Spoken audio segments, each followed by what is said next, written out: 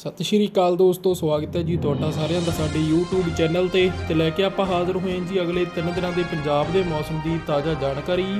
ਹੁਣੇ ਹੁਣੇ ਅਗਲੇ 3 ਦਿਨਾਂ ਦੇ ਪੰਜਾਬ ਦੇ ਮੌਸਮ ਨੂੰ ਲੈ ਕੇ ਜੀ ਮੌਸਮ ਵਿਭਾਗ ਵੱਲੋਂ ਆ ਗਈ ਵੱਡੀ ਚੇਤਾਵਨੀ, ਹੁਣ ਅਗਲੇ 3 ਦਿਨ ਇਹਨਾਂ ਇਲਾਕਿਆਂ ਵਿੱਚ ਪਵੇਗਾ ਜੀ ਭਾਰੀ ਮੀਂਹ ਤੇ ਇਹਨਾਂ ਇਲਾਕਿਆਂ ਵਿੱਚ ਆਉਂਦੇ ਕੁਝ ਹੀ ਸਮੇਂ ਤੱਕ ਦੇਖਣ ਨੂੰ ਮਿਲ ਸਕਦਾ ਆਪਾਂ ਨੂੰ, ਤੇਜ਼ ਰਫ਼ਤਾਰ ਨਾਲ ਫਿਰ ਤੋਂ ਭਾਰੀ ਮੀਂਹ, ਪੂਰੀ ਜਾਣਕਾਰੀ ਤੁਹਾਨੂੰ ਦੇਵਾਂਗੇ। ਕਿੰਨਾ ਕਿੰਨਾ ਇਲਾਕਿਆਂ ਵਿੱਚ ਅਲਰਟ ਜਾਰੀ ਹੋਇਆ ਤੇ ਕਿੰਨਾ ਵਿੱਚ ਨਹੀਂ ਹੋਇਆ, ਪੂਰੀ ਜਾਣਕਾਰੀ ਦੇਵਾਂਗੇ ਜੀ। ਜ਼ਿਲ੍ਹਾਵਾਰ ਸੋ ਵੀਡੀਓ ਨਾਲ ਅੰਤ ਤੱਕ ਜਰੂਰ ਜੁੜੇ ਰਹਿਣਾ ਤੇ ਜਿੰਨੇ ਵੀਰਾਂ ਨੇ ਸਾਡੇ ਨੇ ਚੈਨਲ ਨੂੰ ਹਜੇ ਤੱਕ ਸਬਸਕ੍ਰਾਈਬ ਨਹੀਂ ਕੀਤਾ, ਉਹ ਚੈਨਲ ਨੂੰ ਜਰੂਰ ਸਬਸਕ੍ਰਾਈਬ ਕਰ ਲਓ ਤਾਂ ਜੋ ਇਸੇ ਤਰ੍ਹਾਂ ਦੀਆਂ ਤਾਜ਼ਾ ਤੇ ਵੱਡੀਆਂ ਖਬਰਾਂ ਤੁਹਾਨੂੰ ਮਿਲਦੀਆਂ ਰਿਹਾ ਕਰਨ। ਸੋ ਦੋਸਤੋ, ਜਿਵੇਂ ਕਿ ਤੁਹਾਨੂੰ ਸਭ ਨੂੰ ਪਤਾ ਹੀ ਹੈ ਕਿ ਇਸ ਵਕਤ ਪੂਰੇ ਪੰਜਾਬ ਭਰ ਦੇ ਵਿੱਚ ਲਗਾਤਾਰ ਬੱਦਲਵਾਈ ਵਾਲਾ ਮੀਂਹ ਆਪਾਂ ਨੂੰ ਜਿਹੜਾ ਮੌਸਮ ਆ ਜਿਹੜਾ ਦੇਖਣ ਨੂੰ ਮਿਲ ਰਿਹਾ ਹੈ, ਬਹੁਤ ਇਲਾਕਿਆਂ ਵਿੱਚ ਆਪਾਂ ਨੂੰ ਅੱਜ ਫਿਰ ਜਿਹੜੀ ਹਲਕੀ ਬਾਰਿਸ਼ ਹੁੰਦੀ ਦਿਖਾਈ ਦਿੱਤੀ ਸੀ, ਜਿਵੇਂ ਕਿ ਬਠਿੰਡਾ।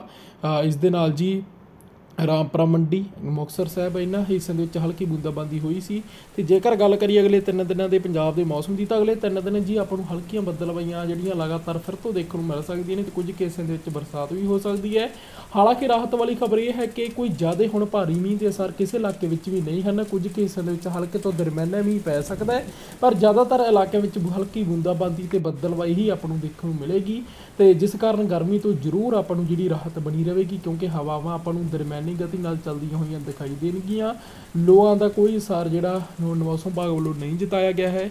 ਸੋ ਅਗਲੇ 3 ਦਿਨ ਦੀ ਮੌਸਮ ਦੀ ਜਾਣਕਾਰੀ ਇਹੀ ਸੀ ਸਰੋਤੇ ਵੀਰੋ ਕਿ ਜ਼ਿਆਦਾਤਰ ਬੱਦਲਵਾਈ ਤੇ ਬੂੰਦਾਬਾਂਦੀ ਦੇਖਣ ਨੂੰ ਮਿਲ ਸਕਦੀ ਹੈ। ਕੁਝ ਕੁ ਲਗਭਗ ਕਹਿ ਸਕਦੇ ਹਾਂ ਕਿ 5 ਤੋਂ ਲੈ ਕੇ 10% ਹਿੱਸਿਆਂ ਦੇ ਵਿੱਚ ਹੀ ਆਪਾਂ ਨੂੰ ਹਲਕੇ ਤੋਂ ਦਰਮਿਆਨਾ ਮੀਂਹ ਪੈਂਦਾ ਦਿਖਾਈ ਦੇ ਸਕਦਾ ਤੇ ਭਾਰੀ ਮੀਂਹ ਦੇ ਅਸਰ ਬਿਲਕੁਲ ਵੀ ਜਿਹੜੇ ਨਹੀਂ ਹਨ।